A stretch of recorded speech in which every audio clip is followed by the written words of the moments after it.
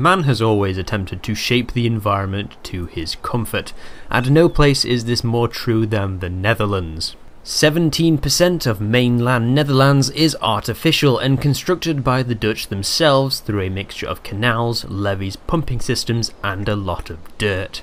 Most of this enlargement has been done in the past 100 years, but those windmill spinning, tulip growing, wooden shoe wearing Dutch have been installing nationwide expansion packs for as far back as the 1300s. How the hell did they do it? How did they manage to build an area more than twice the size of Hong Kong and make it fit for human habitation? To ask the how, we must first ask the why. Why spend millions of euros building more land when you can just do what the rest of Europe did and simply steal it? Ultimately, it comes down to the weather. Really. A low lying coastal state with heavy rains is prone to flooding, the kind that kills thousands of people. A lot of the flooding came from this area, the Zuiderzee, when heavy rainfall and rising sea levels frequently caused it to spill over. The flat terrain of the Low Countries means that water can go for miles before being stopped, and for this reason, the Netherlands is a country of canals, which line the cities and carries the water out to sea. While local governments had been constructing minor dams here and there, filling in lakes and rivers for centuries, it wasn't until 1916 when the Dutch realised they needed to build or die.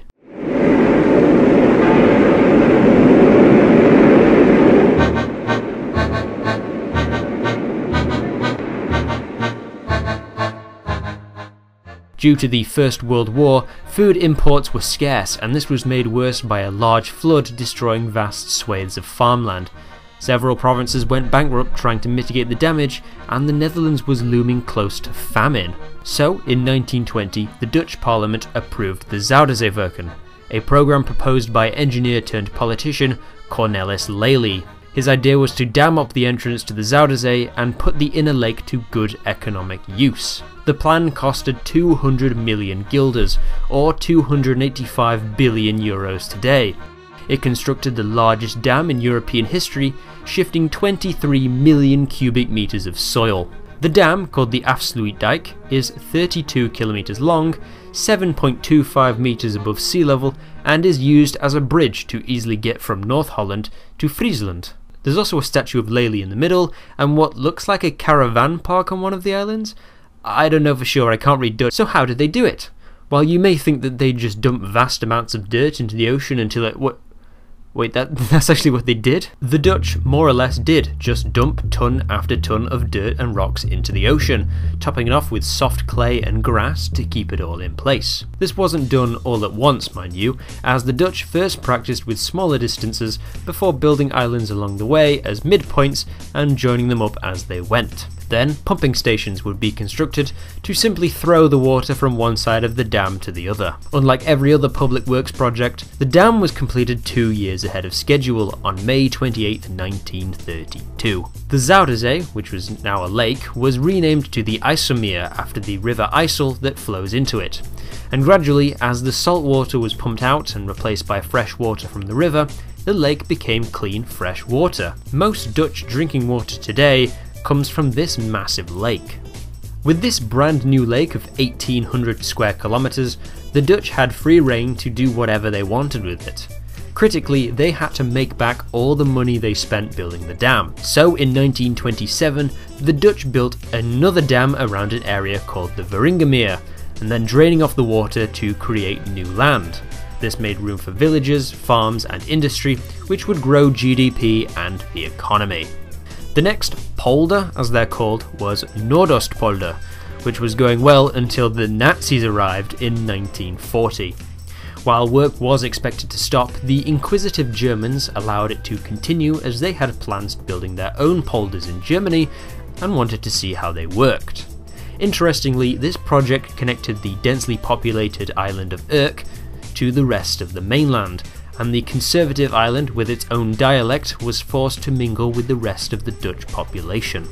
When the polder was completed after the war, scientists found that a lot of the former coastline areas were affected by a lack of water, and many farmers suffered as a result of poor crop yields. So, with that lesson learned, when it came to make the next polder in 1957, the Flevoland polder was built as an island, with a small river flowing past the original coastline to preserve Gelderland's access to the sea. Flevoland was built in two parts, north and south. The northern, or eastern part, was built first, followed by a short break, and then continued with the southern half. Due to mass flooding and poverty in the rural region of Zeeland, many farmers from the region moved up to Flevoland beginning a new life, kickstarting the polder's local economy. Furthermore, a housing shortage in Amsterdam forced many of the people to move further away from the city, and many Dutch people found Flevoland as the perfect place to move to. They named their new city Lelystad, after the man who the islanders owe their homeland to. In 1986, Flevoland was combined with Noordoostpolder to create Greater Flevoland, and was officially accepted as the 12th province of the Netherlands.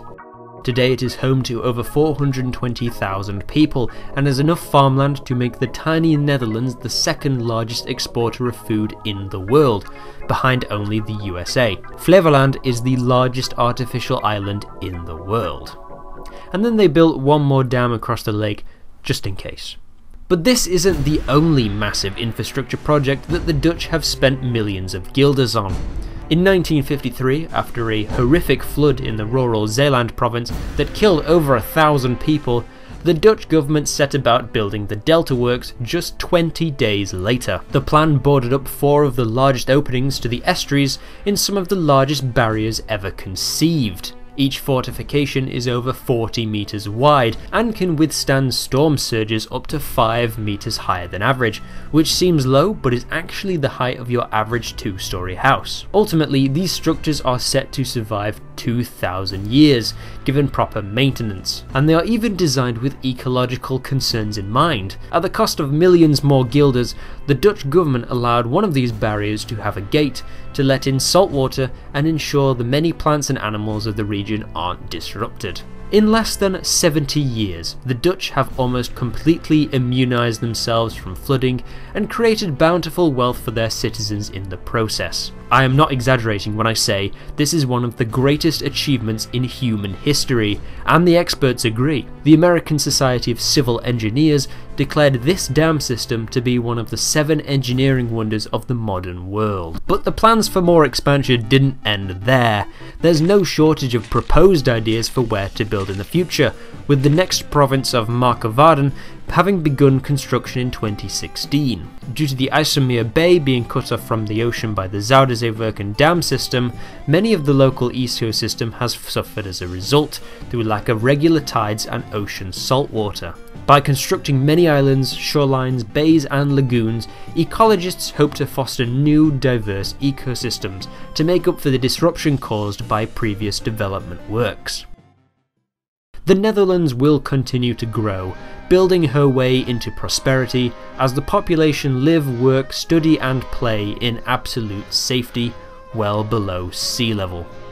Maybe one day the Dutch will stop their quest to expand their shores, but for now the people of the Netherlands will continue making the Netherlands.